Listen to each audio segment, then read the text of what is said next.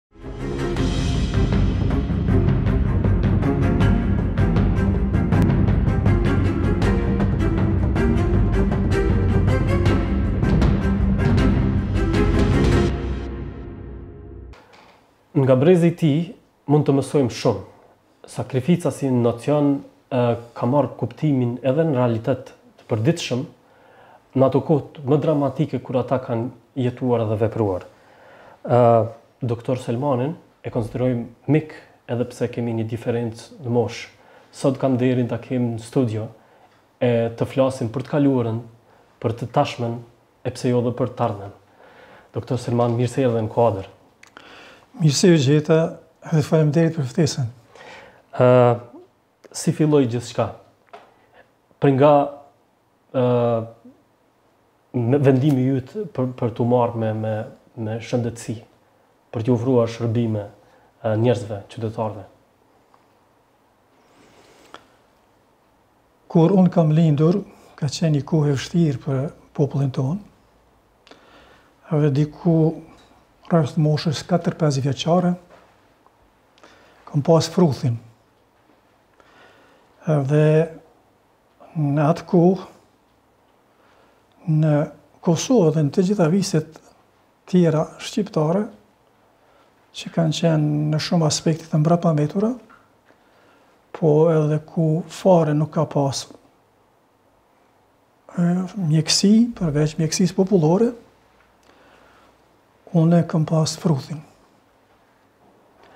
Dhe fruthi edhe shumë sëmundje tjera ngjitëse aso kohë kanë bë kërdi në popullin tonë, Bile thuhet në popull që prindërit nuk kanë llogaritur që kanë djem burra përderisa nuk e kanë derdhë fruthin e sëmundje të ngjitëse edhe përderisa nuk e kanë përfunduar ushtrinë sepse aso kohe ne kemi qenë ushtarë të tjetërkuj, dhe shumë herë dhe nuk jemi kthye.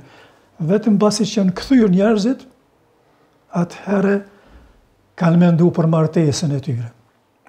E unë, në atë moshë me fruth, tanë natën prindërit më kanë ruajtur. Dhe gjendja kish pas qenë shumë e rëndë, Temperaturë, ndezje të mushknive si prezantim kështu sekondar dhe nëna më kujtohet që më fliste që i shpërthekon gjitha pullat e këmishës, sepse këmë pas probleme me vështirësi n'frymëmarrje dhe deri në mëngjes më kanë rujt që unë e po vdes.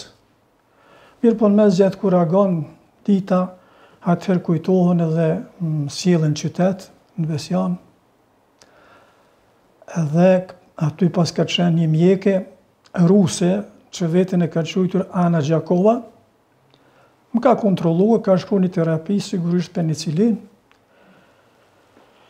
Dhe mbas një kohe ka zbrit temperatura dhe jemi nisë me u kthy për fshat, më kanë thonë që në gjysë të rrugës ke lyp bukë. Prej asaj kohe, unë edhe në shkollë, kur kam shkuar ma vonë, shkollën e mjekësisë e kam përfundu, dhe kur e kam përfundu shkollën e mjekësisë, më karan mend, përjetimet e mija më karan mend, edhe ato që kam dëgju prej prindërve dhe të vjetrëve, dhe jam ndërgjegjësu që unë duhet të bëhem mjek.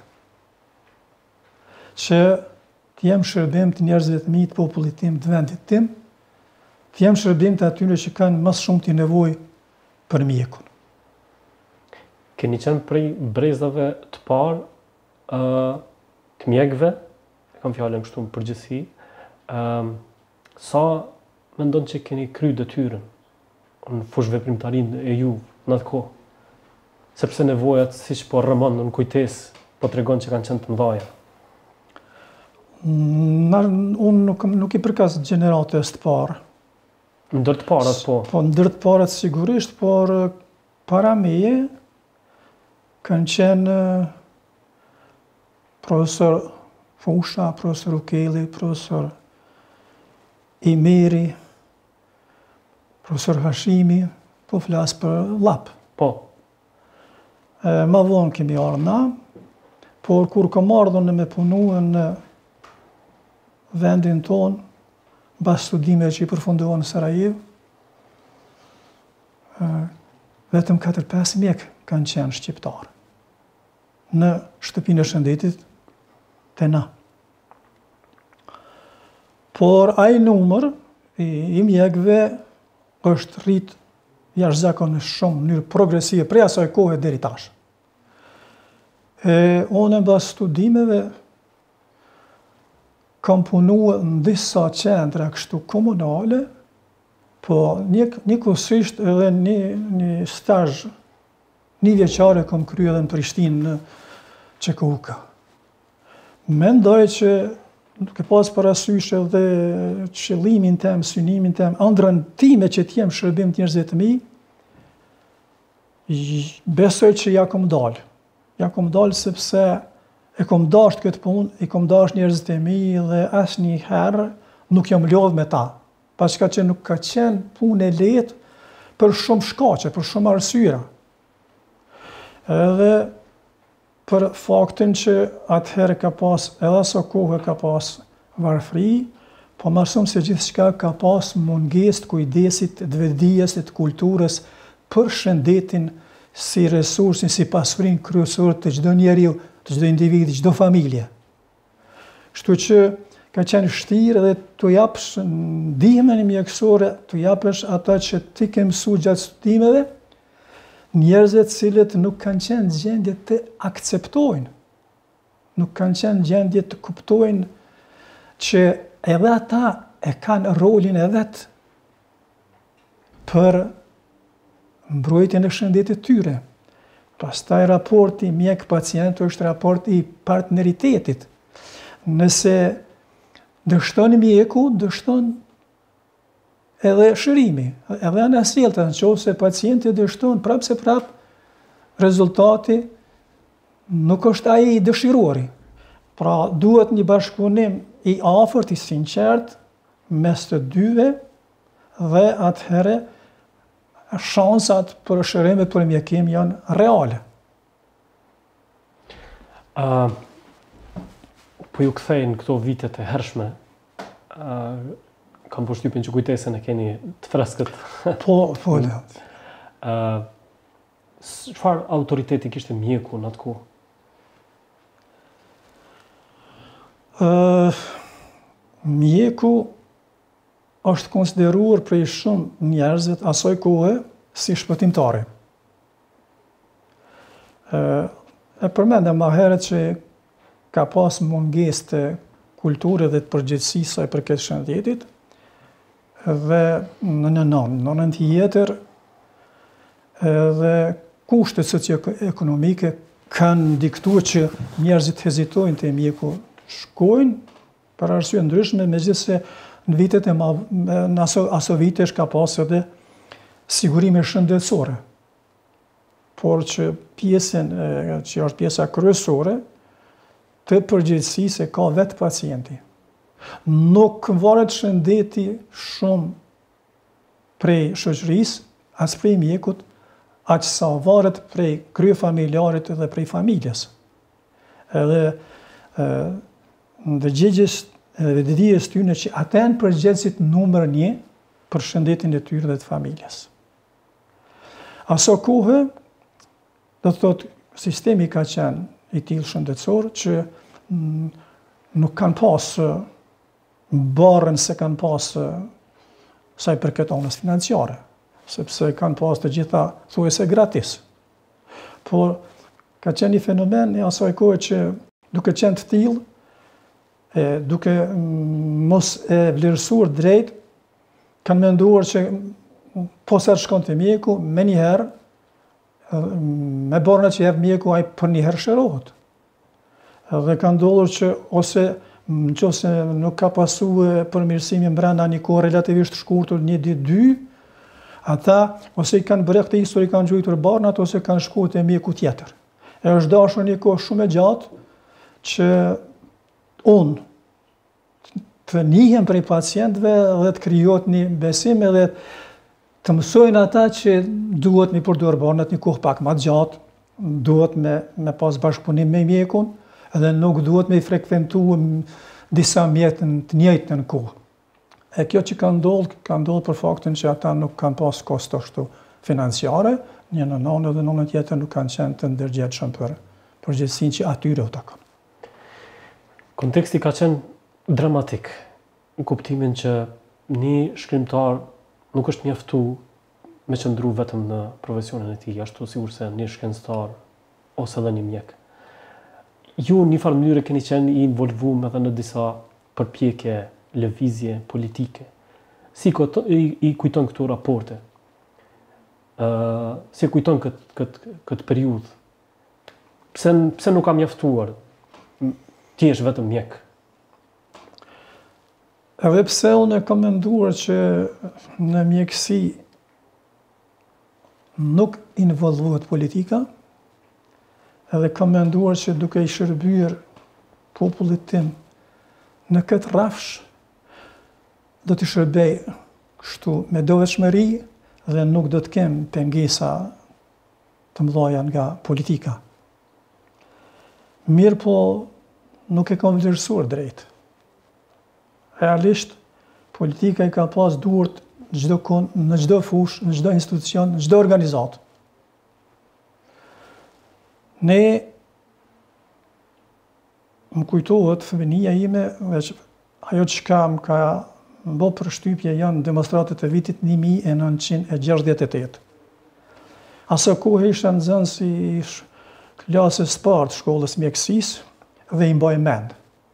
Prej asaj kohe e deri në ditët e sotme gjithçka çka ka ndodhur me neve çka ka bërë ka pas të bëjë me neve i kam fare të freskëta dhe i kam në masë të konsiderueshme edhe të qarta. Dhe me ose pa dashje, shpesh herë,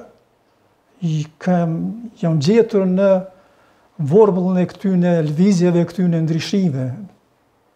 Herë me vetëdije, me dëshire, herë edhe edhe pa ato, po unë me i fjalë nuk kam qenë indiferent ndaj zhvillimeve shoqërore edhe politike që kanë ndodhur në shoqërinë tonë. Edhe roli i profesionistit shëndetësor i ka kapërcyer muret, si të thush, profesion. Po, domosdo është dashur të mendoj pak ma shumë si si intelektual, si qytetar, si shqiptar, si njeri në rend të parë. Dhe do të thotë jam marrë edhe me aktivitete të tjera jashtë profesionit. Dhe kështu publikisht jam marrë mm, në fillim të viteve 90 do thosha 90-91 e deri në ditët e sotshme gati. Deri para nja 10-15 vjetë. Keni qenë po ashtu pjesë e këshillit për mbrojtjen e lirive dhe të drejtave të njeriut. Sa si mjek, sa keni mbrri njëfarë mënyre me dokumentu ato që sistemi filloi me marrë si, si, si sistem shovinist kundrejt shqiptarëve. Sa kanë shërby ato përvoja edhe ato dokumentacione edhe ato fakte për me ndërgjegjësu shoqërinë njëkohësisht po edhe me i kontribu kauzës politike për çlirim. Po në vitin nëntëdhjetë është themeluar Nënkëshilli Komunal për Mbrojtjen e Drejta, Drejta dhe Lirive të Njeriut, dhe ka qenë një këshill nismëtar aty që kemi qenë disa veta, por mu më ra fati që unë të zgjidhem kryetar dhe ta udhëheqja atë këshill. Ne kemi bo një punë të mirë aq sa na kanë leju mundësitë dhe dhunën e, e shfrenuar dhe mizore që ka ushtruar pushteti okupues serb e kemi dokumentu me fakt, me faktografi, me me foto edhe me deklarata të, të dëmtuarve. Nuk ka qenë e lehtë kryhet ajo punë. Edhe ne kemi qenë gjithmonë të survejuar, gjithmonë të përcjellur, puna jonë dhe aktiviteti jonë i ka pengue pushtetit sepse ata edhe pse u, u, ushtronin një dhunë, jashtëzakonisht mizore dhe prej asaj dhune përveç dëmtimeve e lëndimeve trupore fizike dhe atyne psikologjike, Shkak i dhunës të shfrenuar shoviniste ka qenë që në komunën tonë nja gjashtë shtatë veta e kanë humbur jetën. Dhe ne kemi bërë punë të mirë, Më kujtohet që unë kam qenë edhe në cilësinë, e kam krye, jam në një farë mënyrë, jam masku me, me punën e mjekut, sepse unë nuk kam qenë mjek vetëm i ordinancës mrena, po kam qenë mjek i terenit edhe gjithmonë ku ka pas nevojë, ditën edhe natën kam shkuar, po edhe për këto rastet e dhunës, i kam trajtuar, i kam mjekuar, dhe normalisht i kam dokumentuar. Kjo punë e këshillit i ka ranë në sy edhe pushtetit dhe ata kanë bërë çmos që të na paralizojnë. Mirëpo, ne nuk kemi ndalur edhe kanë qenë dy tentativa në vitin 94 Pranverën e vitit nëntëdhjetë e katër kanë ardhur nja tre djem, do të thosha në thojza të rinj, ish të burgosur politikë të tetëdhjetenjëshës, të cilët kërkuan që edhe ata të bëhen pjesëtarë të Këshillit për Mbrojtjen e të Drejtave dhe Lirive të Njeriut, dhe na i mirëpritëm, por në takimin e dytë na na thanë që na kemi ardhur këtu Që ta udhëheqim këshillin, thash, unë ju thash aty edhe ma mirë. Shumë bukur. Thash, po ju duhet pak të punoni këtu, na mushni menen që jeni ju ata të zotët, që e kryni këtë punë edhe na me knaqësi jau dorzojmë. Por, ata u tërhoqën, e panë që nuk ju ndez ajo punë. Nuk vonoi shumë kohë dhe mas 2-3 muje dhe tash tentativa ishte tjetër, E kuptova ma vonë që ishte çështja që unë të largohem prej këshillit dhe imputun, insinuun kundër personalitetit tem disa prej shokëve që ishim aty. Edhe E kishin manipulue njërin prej atyre që ka qenë më i ri, e i kishin thonë që doktor Selmanin e kena pa me filan fistekun kah për qafet.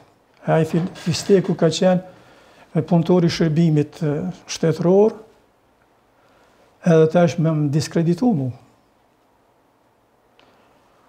Edhe pse nuk u shqetësova shumë, U fyva, u ofendova shumë, m'u ngja shumë, shumë e ulët ajo, dhe thashë, edhe të kishte qenë ashtu, edhe të kisha përqafu, çfarë të keqe ka ajo punë? Pse ju pengon ju ajo? E thashë me ironi, një po. familje. Në ndërkohë, pastaj, ata kërkun dorëheqjen time që unë nuk e pranova. Kërkova votëbesim. Edhe E fitova unë besimin, mirëpo u prishen raportet dhe në fund vitit e dorëzova unë këshillin dhe dokumentacionin edhe e çova një komunikat në gazetën Bujku asokohe. Pastaj viti 94 mm, ka qenë vit i, i, i ndryshimeve tek unë edhe në shoqëri edhe vit i kthesës do të thosha. Edhe ishte e pamundshme edhe ta ushtroj edhe punën e profesionit tim, se unë asokohe isha mjek i punëtorëve në shtëpinë e shëndetit dhe kryesisht pacientët i kom pas të nacionalitetit serb dhe malazez, që kishin mbetë në punë, ndërkaq shqiptarët kishin ngelur pa punë, ishin përjashtur prej ndërmarrjeve, ishin kishin humbur punën, Po edhe puna jeme në ordinancë e hupi kuptimin edhe unë vetë kërkova ta shkëpus marrëdhënien e punës, dhe të bëj një ordinancë private, gjoja për biznes. Tash pas, pas kaq vitesh, a e konsideron si hap të rrezikshëm? Sa ka si me thanë, sa ka qenë e rrezikshme prej sistemit me t'u kundërvu, me siguri uh, observimin ndaj teje dhe njerëzve si ti që kanë marrë vendim për me u shkëput prej institucioneve publike e kanë shtu edhe ma tepër? A, e kam pas parasysh edhe ato, po unë kam pas da mendjen ma herët.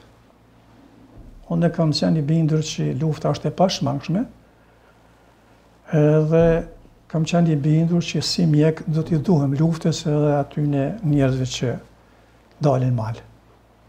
E kom dit që ata kanë nevojë për mua. Dhe kom pa, kemi pas edhe na si mjek komunikime mes vete. Lufta zhvillohej në Kroaci edhe në Bosnje. Unë kam që e thash ma herët kam studiu në Sarajevë dhe kam pas rastin të kontaktoj me njerëz të Sarajevës. Me kolegët e tu direkt? Me kolegë, me miq dhe ata në bashkëbisedim më sugjeruan që ju duhet të përgatiteni për luftë sepse shkau tjetër gjuhë nuk njeh.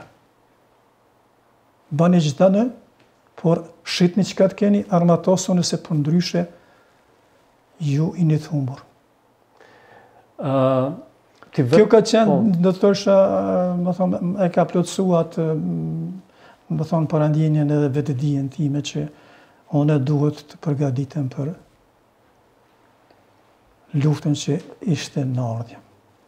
Ti, ti më vonë edhe involvohesh, si me thanë, si prapë si në rolin e mjekut, i shërben, ju shërben ushtarëve të UÇK-së, mirëpo, para se të vijmë te kjo periudhë, si i kundron tash ato përpjekjet e lëvizjet politike, duke përfshi dhe organizimin ma të madh që ka njoft Kosova këtu në aspektin politik, lëvizjen, lidhjen demokratike të Kosovës, lëvizjet tjera politike në krye me Demaçin e kështu me radhë.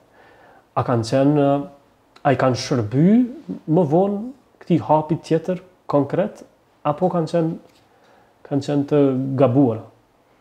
Në mënyrë paradoksale i kanë shërbyer domethonë mobilizimit për një luftë, për një rezistencë, për, për të mbrojtur, domethonë, popullin prej atij, prej asoj dhune që ushtronin ata. Pse mendoni kështu? Mendoj për faktin që unë kam qenë edhe në LDK. Po. E kom njoft bukur mirë atë lëvizje. Po, si në çdo organizim, kur sidomos kur është masovik, siç ka qenë lidhja demokratike, gjithmonë janë infiltruar edhe kanë vepruar Bile në disa raste edhe hapur elemente të cilët i kanë shërbyer regjimit. Mirëpo Rugova me mençurinë e tij, Fehmi Agani dhe shumë intelektualë tjerë kanë qenë të interesuar që ta ruajnë substancën tonë kombëtare, Duke pasur parasysh faktin që ne kemi qenë edhe pak edhe të papërgatitur edhe pa motivuar për një rezistencë të armatosur edhe për dhe me një, do me thënë, me një vizion edhe me një me një urti edhe me një do me thënë, bashkëndjesi edhe përgjegjësinë që kanë pasur këta liderë kanë provuar ta shmangin luftën si mjet për arritjen e lirisë, mirëpo kjo periudhë ka zgjatë rreth dhjetë vjet, në mënyrë që populli të ndërgjegjësohet që me mjete paqësore dhe demokratike nuk shporret okupatori. Dhe kjo i ka shërbyer njerëzve sepse në lëvizje këto kanë filluar lëvizjet nuk janë shkëputur qysh prej luftës dytë botërore e tutje vazhdimisht ka pas edhe organizata të ndryshme politike edhe njerëz të ndryshëm simboli i të gjitha këtyre ka qenë edhe lider shpirtëror ka qenë Adem Demaçi Ma vonë, ai i ka shërbyer edhe brezit tem edhe shumë gjeneratave të tjera si frymëzim, si ndërgjegjësim dhe vetëdije që ne duhet të luftojmë për drejtat tona asokohe ka qenë, sado që ka qenë, ndoshta edhe jo aq reale, se flas në këtë rast si një njeri pak a shumë i lexuar. Ka qenë një një një bindje te shumica e intelektualëve që shqiptarët nuk kanë asnjë mundësi teorike që t'i kundërvyhen regjimit të Sllobodan Millosheviqit edhe ushtrisë jugosllave, e cila është llogaritur si një prej armatave ma të forta në Evropë, thoshin diku armata e tetë ose Ku ta di unë. Sidoqoftë, ata që kanë qenë, kanë pas ideal dhe moral të lartë, siç ka qenë baca Adem dhe pasuesit e tij, ata nuk kanë pushuar asnjëherë. Mirëpo, kushtet edhe momenti erdhë tash në fundin e viteve nëntëdhjeta. Atëherë secili njeri nuk ka pas mundësi dhe potencial UÇK-ja të mobilizojë njerëzit, por kjo është bërë kryesisht në baza vullnetare dhe të ndërgjegjës dhe vetëdijes të secilit individ. Kështu që unë e kam, e kam pas të ditur që i vjen momenti që duhet të dalim edhe na ta kryjmë detyrën tonë. Kam punu nja 3-4 vjet në atë ordinancën që e çela me letra, a di, dhe ju kam shërby edhe ushtarëve të UÇK-së, po në momentin kur ma ishte e pamundur që të bëhen çfarëdo lëvizjesh, atëherë në vitin 98, jam detyru me dalë edhe unë në mal. Në çfarë kushtesh keni vepru, pasi keni dalë në mal, ju keni bashku forcave të UÇK-së, ushtarëve? Fatbardhësisht, ne te na lufta filloi pak ma vonë, edhe patëm mundësi dhe të përgatitemi. Ne me njëzet e katër maj, të vitit nëntëdhjetë e tetë e mbajtëm një takim nën petkun e riaktivizimit të shoqatës së mjekëve. Dhe ne mendonim që pak a shumë të mbuloheshimi dhe të përgatiteshim për luftë. U zgjodh aty edhe kryesia e shoqatës, në mesin e tre vetave isha edhe unë edhe doktor Skender Murati, që barra kryesore na ra ne dyve dhe në fakt unë isha ai që e bëra një plan ku barnat që i grumbulluam në ndërkohë duheshin deponuar. dhe e di që i kemi deponu në një shtatë vende, ku nuk ka dështuar asnjë vend. Aty ku kam menduar që janë të sigurta, kemi trokitur edhe nuk na kanë refuzuar. Edhe para se me fillu operacionet e luftës, na në atë aspekt kemi qenë të mbulum, domethënë nuk kemi pas mungesë të barnave, ndërkohë kur fillojnë luftimet, Edhe Kryqi i Kuq Ndërkombëtar na ka furnizuar që gjatë asaj kohës sa janë zhvilluar luftimet në zonën operative të Llapit, asnjëherë s'kemi pasë mungesë të barnave elementare dhe të materialit sanitar. Në ndërkohë që ishin përgatitur të gjithë mjekët në takimin që patëm më 24 maj, të gjithë kanë qenë të informuar dhe gjithsecili mjek, 54 persona kanë qenë, nuk kanë qenë të gjithë mjek, Janë furnizur mbe nga një çantë, do thosha, me 24 artikuj kështu sanitar edhe barna, edhe ka pas që i kanë marrë, domethënë, sugjerimet që secili me bart me vete atë kontigjent të vogël të barnave dhe kudo që ka nevojë, kudo që të ketë, do të ketë plagë, secili ka qenë në gjendje që ta mbështjell një plagë, ta ndalojnë gjakderdhje, për këtë edhe në vitë qysh në vitin 92, ne mjekët, kemi organizue kursin e dhënies së ndihmës së parë. ka qenë një numër i konsiderueshëm i mjekëve që vullnetarisht edhe shumë interesant që këto ushtrime i kemi mbajt në lokalet e xhamisë qytetit në Besianë. Aty pak kemi kalu ma mirë, e kemi pas pak ma të sigurt. Do të thotë që edhe aso kohë kemi grumbullu barna, natyrisht të gjithë të organizuar së bashku.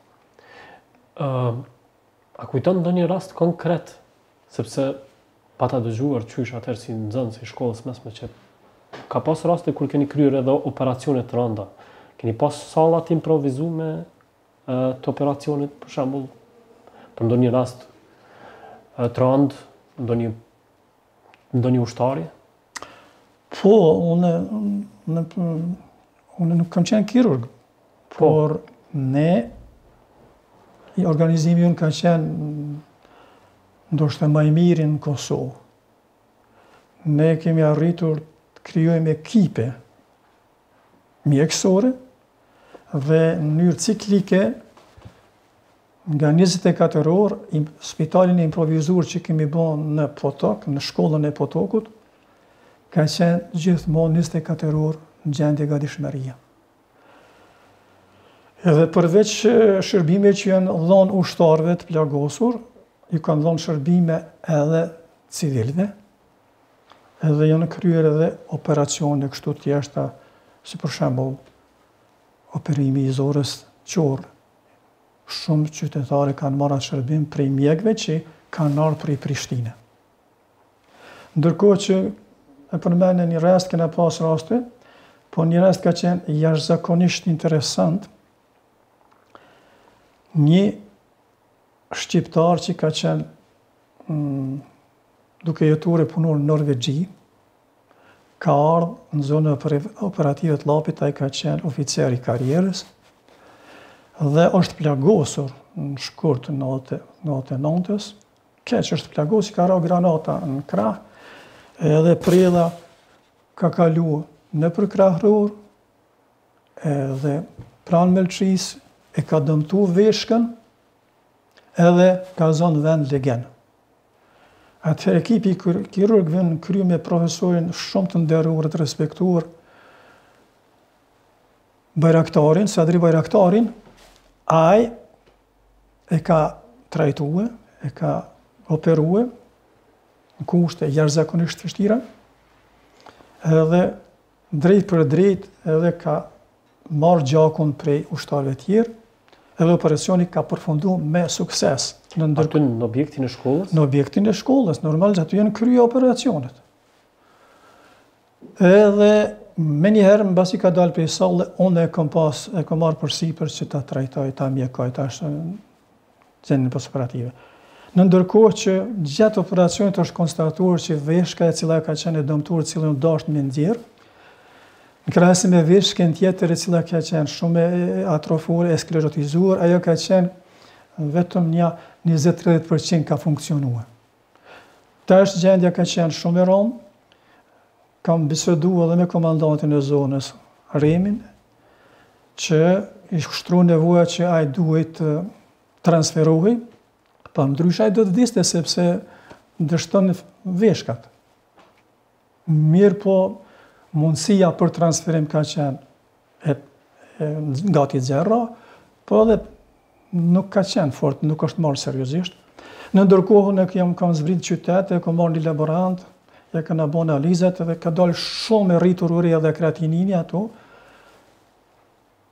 Mirëpo mm, edhe ai njeri, ai personalitet, Ibrahim e ka pasur emrin Ibrahim Demi, ka qenë jashtëzakonisht i fuqishëm. Po edhe ajri ka qenë i mirë, ushqimi, qumësht, mjaltë, ka pas aty fshatarë që i kanë dhonë. E, kur kemë bo mbas një jave, kemë përsërit analizat, kemi pa që që e veshka e vogël, ka fillu të merr funksion Ka qenë një rast jashtëzakonisht interesant e që shumë. Ka mbijetuar, jeton? Ka mbijetuar dhe jeton. Interesant. Pse ky vullnet, si u zbeh ky vullnet pas lufte?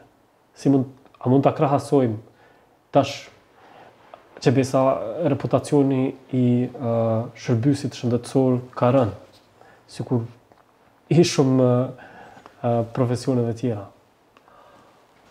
Unë nuk ndihem rahat, nuk ndihem mirë në qoftë se mm, konstatoj diçka që këtë konstatim e mbaj qysh se kur kam fillur ta ushtroj profesionin e mjekut. Në vitin 81 që ndodhën demonstratat e tetëdhetenjëshes, isha ende student, ende absolvent, isha ka përfundimi i studimeve kur njëri prej kolegëve po më thotë, ju shqiptarët nuk keni kulturë. U fyva, u ofendova. Serb? Po. Mirëpo, ma vonë, kur jam kthyer e kam kuptuar që vërtet ne nuk kemi kulturë. Është e dhimbshme të thuhet kjo e vërtetë, por për hir të së vërtetës duhet ta themi. Ç'është e vërteta unë aso kohë vetë nuk e kam pas qartë ç'është kultura. Kam menduar që kulturë është thjesht njeri i ndershëm, i mirë, i sjellshëm, punëtor e tjera e tjera. Por mu më ka rezultuar që nuk është ajo kulturë. Kulturë është kur njerëzit me vetëdije i mbrojnë dhe i ruajnë vlerat e tyre. Për shembull, kulturë është kur dikush i pastron dhëmbët edhe i mbron dhëmbët ose kulturë është kur e mbron shëndetin e tij. Ndërkohë që është kulturë kur njerëzit që janë pak a shumë ma të përgatitur, edhe profesionalisht, edhe intelektualisht, merren me mbrojtjen dhe mirëqenien e popullit vet, e njerëzve të vet, e vlerave të tyne.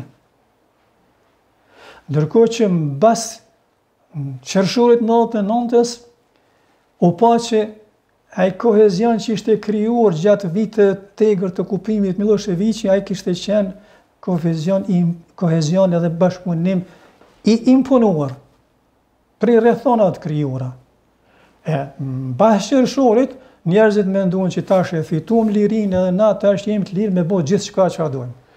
Kështu që inercioni edhe dëshira për të ardhë deri te përfitimet materiale, me ardhë deri te pushteti, me ardhë deri te fama, deri te lavdia ka bërë që të bëhen shumë shumë punë edhe të pandershme, po edhe jashtëzakonisht të dëmshme. që na e kemi vështirë me i riparua, sepse shumë vite kalun e po kalojnë edhe ende s'e kemi kuptuar që ne, ne jemi vetë përgjegjës për ndërtimin, ngritjen e shtetit. Ne kemi vujtur për mungesën e shtetit si protektor, si, si organizatë, si që i mbron Njerëzit dhe interesat e tyre, e mbron lirinë e tyre, e mbron pacenueshmërinë e pronës edhe krejt këtu, se te ne shteti ende ka qenë inekzistent, ne harrum që gjithçka çfarë kemi pas para lufte, ajo u shkatrru.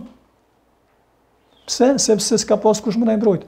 Tash ende pa investuar për ngritjen e ndërtimin e shtetit në mungesë të vetëdijes shtetformuse.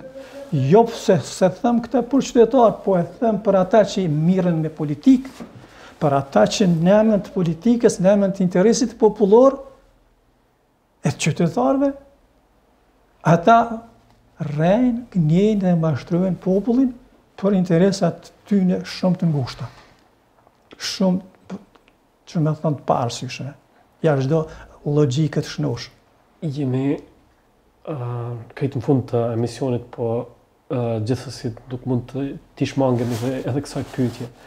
Ë eksperienca të paktën e juaj edhe në profesion, po edhe angazhimet e, e, e tua përtej asaj që t'i shtron si detyrë profesioni.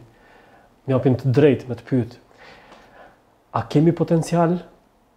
A ka ende, si me thanë, forcë kjo shoqëri për ta ringritur aty ku duhet veten, për ta vendosur në binarët e duhur?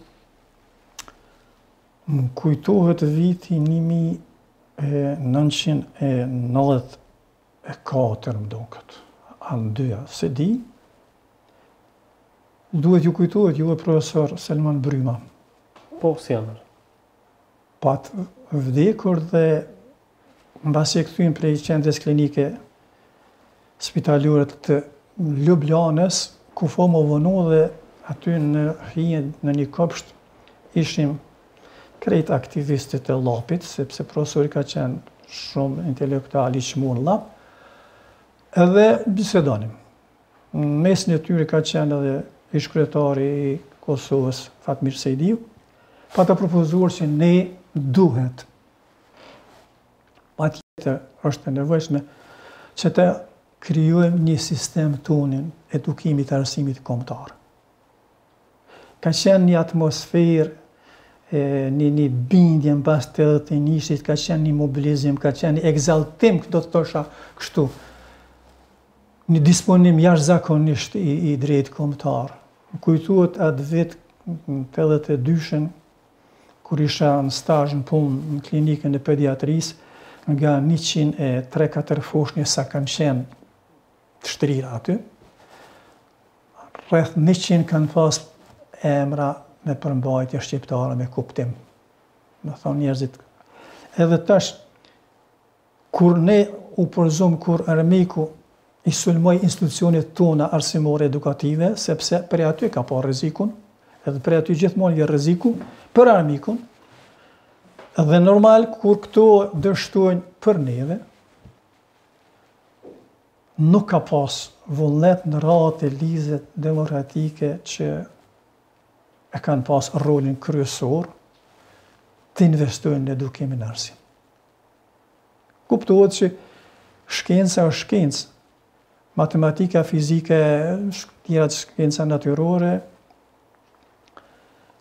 janë gjithkund njëjtë te gjithë popujt, por sa i përket historisë, etnografisë, muzikës, albanologjisë, albanologjisë e tjera, ne kemi pas mundësi që t'i hartojmë planprogramet tona, E për ironi të fatit unë e kam dëgjuar persona të caktuar, tash s'po më kujtohen emra, s'po dua dhe me etiketue, shpeshherë kanë kanë keqpërdorur nocionin brezi i Republikës. Po ai brezi i Republikës është sakrifikuar, nuk është nuk ka punu kërkush për atë brez. E çka tash Nuk tash pe lajmë nesh për një moment këta njerëzit që po miren me politikë të subjekteve të ndryshme politike, por habitna se për shembull shumë grupe të ndryshme të organizuara të krimit apo di unë e të hajnive të ndryshme funksionojnë jo vetëm brendapërbrenda shqiptare, po edhe shqiptarë bashkëpunojnë edhe me serbë, bashkëpunojnë edhe me popuj të tjerë sepse i lidh interesat e tyre të përbashkëta. Por, është e habitshme qysh intelektualët shqiptarë nuk janë në gjendje, nuk të janë zotë me përcaktu interesin tonë shtetëror dhe komtar. Dhe bashkohen në një kauzë komtare, të bashkohen në ndërtimin e shtetit ligjor në Kosovë. Pa shtet ligjor në Kosovë, unë mendoj që Nuk ka, nuk ka me pas asnjëherë ndryshime pozitive. Këtë kanë mundur dhe duhet ta bëjnë vetëm intelektualët. Kjo është barra e intelektualëve. Vetëdija dhe ndërgjegja kombëtare e shqiptarëve është si rezultat i rilindjes tonë kombëtare, ku intelektualët e kanë pas fjalën kryesore dhe kombi jonë është formuar dhe vetëdija shtetformuese ka filluar, aty është ngjiz nga rilindasit. Ndërkohë që intelektualët tonë, unë po mendoj që sidomos mbas luftës kanë dështuar. Kanë dështuar ta luajnë rolin e tyre që u takon, rolin e tyre e, që është orientues, orientues për qytetarët. Sikur të kishim të tillë, ndoshta do t'ia dilnim mbanë. Nuk e di nëse kemi. Ka, ka po një çështje këtu është më se e sigurt të paktën për mua. Ka qenë ka pas shqiptaria individë të jashtëzakonshëm edhe sot e kësaj dite ka në fusha të ndryshme edhe të artit edhe të kulturës edhe të sportit edhe por si individë ne për ne shqiptarët ende vazhdon të mbetet e huaj puna ekipore Për qëllime të larta, për qëllime të mëdhaja, kërkohet punë ekipore, punë e organizuar jashtëzakonisht mirë, ku secili individ duhet që për individë e kam fjalën që janë të përgjegjshëm, të vetëdijshëm, ti për momentin t'i lërë anash interesat e veta personale dhe t'i përkushtohesh çështjes madhore pa të cilën ne nuk kemi perspektivë, nuk kemi ardhmëri. Sidomos kjo vlen në qoftë se ne nëpër institucionet tona politike dhe shtetërore nuk kemi intelektualë edhe patriotë të vërtetë, të ndërgjegjshëm, të vetëdijshëm, që duhet udhëhequr këto institucione. Intelektualët edhe nëse organizohen nëpër shoqata jashtë institucioneve shtetërore, ndikimi dhe kontributi i tyre nuk është minor. Vetëm në qoftë se intelektualët e patriotët e mirëfilltë e të vërtetë që ka janë, futen nëpër institucione shtetërore, ata mund ta bëjnë ndryshimin. Dhe i tillë unë mendoj që është edhe kryeministri aktual, por që si çdo njeri edhe ai ka edhe si çdo shqiptar do të thosha i ka edhe ai do defekte të vetat edhe ka edhe njerëz që iu kanë afru sikur që i afroheshin edhe Rugovës e Demaçit e që kanë pas qëllime tjera e jo qëllimet për ndërtimin e shtetit. Të mos tingëllojmë shumë pesimistë. Ndërtimi i demokracisë patjetër që kërkon sakrificë, energji dhe përgaditje të niveleve të tjera. Po shpresojmë që të vijnë edhe ato ditë. Unë të falënderoj shumë që ke gjetë kohë për këtë bisedë, besoj shumë të këndshme E me shumë të vërteta për cilat besoj që është i interesuar edhe shikuesi. Faleminderit shumë, unë po shtoj edhe pak diçka. Deshta të them që e përmende sakrificën. Rezultati i idealit dhe sakrificës është gjendja shqiptare në këtë shekull. Po shumë është e dhimshme kjo që mbas 22 vjet të thashë kushtimisht lirie, brezat e tashëm dojnë të vijnë deri te te te realizimi i andrrave dhe dëshirave të tyne, shumica po flas për shumicën, s'po flas për individ, pa sakrificë, pa dhimbje, pa vujtje, pa punë me ardh deri te paret, me ardh deri te. Ato janë iluzione. Nuk ndodhin ato. Duhet shumë investuar sepse asnjë sportist i joni Asnjë figurë kështu kombëtare as edhe nuk ka nuk i ka pikë suksesi rezultati prej qiellit, po është rezultat i punës të investuar me, me, me shumë pasion, me shumë dashuri, me shumë përkushtim. Vetëm kur të kemi dashurinë, përkushtimin e duhur edhe domosdoshëm për ngritjen e shtetit tonë, i cili do të jetë në shërbim të gjithë qytetarëve, jo si parullë, po si realitet, vetëm atëherë mund të fillojë ndryshimi i gjendjes tonë për të mirë, për të cilën të gjithë kemi dëshirë, po pak po kontribuojmë. Po ajo, unë të falenderoj shumë për edhe një herë për, për këtë bashkëbisedim. Shpresoj që ty të kemi edhe herëve tjera, pse jo. Faleminderit, nuk di sa, a thash në esencë, po Këto janë qëto sene që i kom përjetu edhe i kom perceptu qashtu. Unë konform me qat shprehinë teme me folë drejt, u përpoqa të tham diçka. Faleminderit shumë. Me nder qofshi.